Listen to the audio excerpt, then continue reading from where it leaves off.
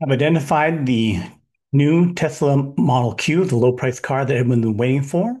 So we'll review what I found that it's a compact Model Y. Here we see the uh, video from uh, McDonald's Wellness where we see uh, the car, which I've taken a picture of and put it into um, a comparison for the AI of um, of um, what it looks like. So I took the picture from the video and it is compared to the Juniper 2025 Model Y. Put them side by side, put them into an AI, and the AI determines that the new car is 4.3 tire lengths long and versus 4.6 tire lengths long for the um, previous Model Y.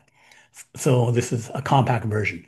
It also says that the um, height of it is more sharp and the window curves more sharply. So we can look at those side by side and they are, the new car is shorter. So like I said, 4.3 tire lengths long versus 4.6. So what does that mean in terms of price?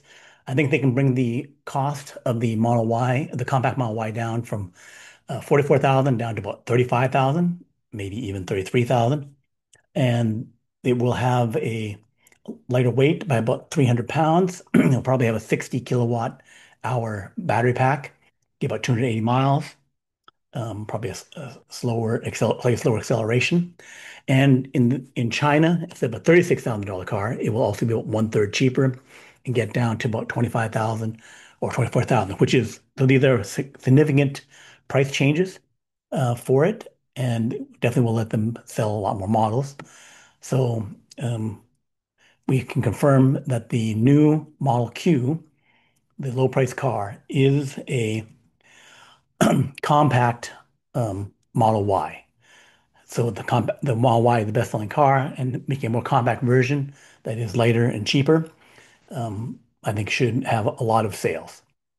So that's what we discovered from video evidence that clearly shows that they have a shorter, lighter um, Model Y, a compact version that will be made on the previous lines, share a lot of common parts. So um, you can join us next time on Next Big Future. Please like and subscribe and share this. Thank you. Bye bye.